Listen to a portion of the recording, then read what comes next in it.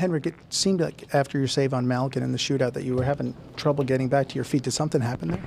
Uh, I think I pulled my my uh, hamstring a little bit, but it's fine. I think it's just I don't know what happened. I just hurt.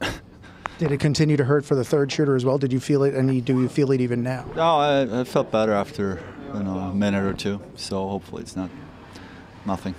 And on the play where Cooke skated by you and hit you, did that make your arm go numb, or did something happen there? I mean, I I don't know what he's doing.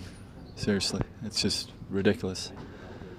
But uh, it's not the first time, right? So it's him being him. In terms of the game, Henrik, did did it seem to you in the crease that this was pretty close to playoff intensity for 65 minutes?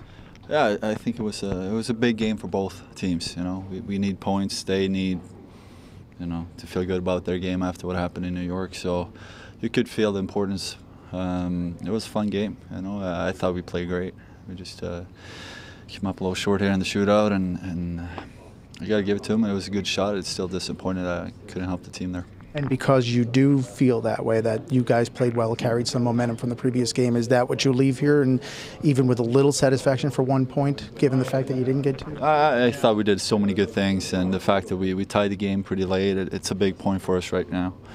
Uh, in the shootout, you just uh, I need to come up big, and, and unfortunately, uh, it wasn't enough. Last one on the hamstring. Is that something that you'll kind of reassess tomorrow when you get to Carolina? Yeah, probably. Uh, I think it's fine. I, don't know what happened really. I stretched out and it just started hurting, so uh, I'm not too worried about it. I think we'll be fine for tomorrow.